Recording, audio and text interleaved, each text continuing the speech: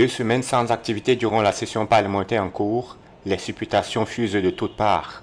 Député de l'Union démocratique du Cameroun, l'honorable Kopita Damou dit savoir qu'est-ce qui coince. Selon la Constitution et les lois portant règlement intérieur de l'Assemblée ou du Sénat, le bureau d'âge n'a aucune compétence pour diriger quelque travail que ce soit. Il n'y a aucun travail parlementaire, aucune activité parlementaire qui puisse être menée avant la mise sur pied du bureau définitif. Et donc, comme euh, euh, vous le constatez, depuis l'ouverture le 5, il n'y a pas eu la deuxième plénière qui devrait être consacrée au renouvellement du bureau. Qu'est-ce qui justifie cela? Et selon les informations prises à bonne source, il est question pour le RDPC de renouveler sa confiance au niveau du Sénat euh, en monsieur le sénateur Niet Difendi Marcel et au niveau de la Chambre basse au très honorable président euh, Kavaïege Jibri.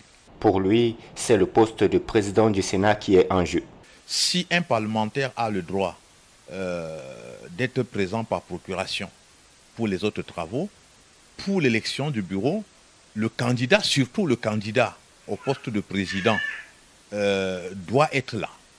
Parce que c'est lui qui est appelé présider la suite de la mise sur pied du bureau. Il n'est donc pas possible pour euh, le sénateur Niet Tifendi de se faire représenter à ce niveau-là. Ce n'est pas possible. Une situation qui n'est pas sans conséquence, dit-il. S'il arrivait quelque chose de grave au sommet de l'État au Cameroun, qu'est-ce qui se passerait? On serait dans un vide constitutionnel, un vide juridique préjudiciable qui pourra appeler l'armée à, prendre le, à prendre le pouvoir. Parce que rien d'autre n'est prévu. Nous n'avons pas de président de Sénat. Nous n'avons pas de président de l'Assemblée. Et l'autre conséquence sur le fonctionnement des institutions, c'est que vous savez que le Conseil constitutionnel, euh, ses membres, y compris son président, étaient arrivés au terme de leur mandat. Le président a renouvelé ce mandat, mais tant que ces, euh, euh, ces personnalités n'auront pas prêté serment devant le Parlement réuni en congrès, ils ne peuvent pas exercer. Donc ça veut dire également que au-delà du Parlement, le Conseil constitutionnel est plombé. Il n'y a pas donc de président du Conseil constitutionnel au moment où nous parlons au Cameroun.